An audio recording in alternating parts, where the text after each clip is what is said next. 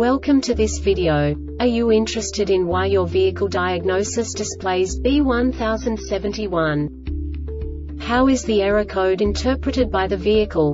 What does B1071 mean, or how to correct this fault? Today we will find answers to these questions together. Let's do this. First, let's look at the history of diagnostic fault code composition according to the OBD2 protocol, which is unified for all automakers since 2000. We divide the electric system of automobile into the four basic units. Powertrain, body, chassis, network. This distribution is defined in the first character code. If the second character is expressed as zero, it is a standardized error. In the case of numbers 1, 2, 3 it is a more prestigious expression of the car-specific error. The third character specifies a subset of errors. The distribution shown is valid only for the standardized DTC code. Only the last two characters define the specific fault of the group.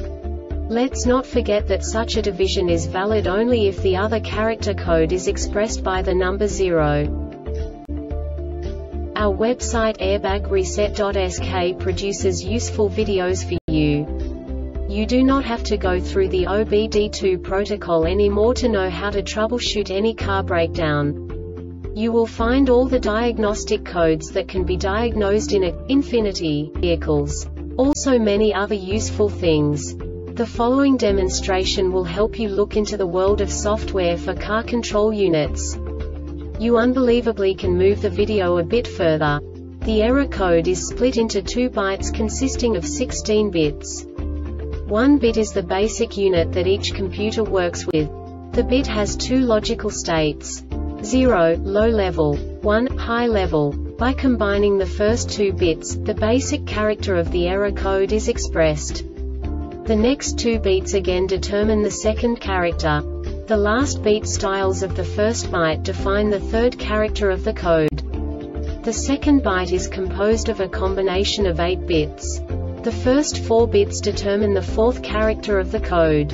And the combination of the last 4 bits defines the fifth character.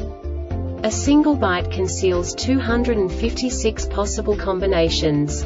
We now know in what way the diagnostic tool translates the received information into a more comprehensible format.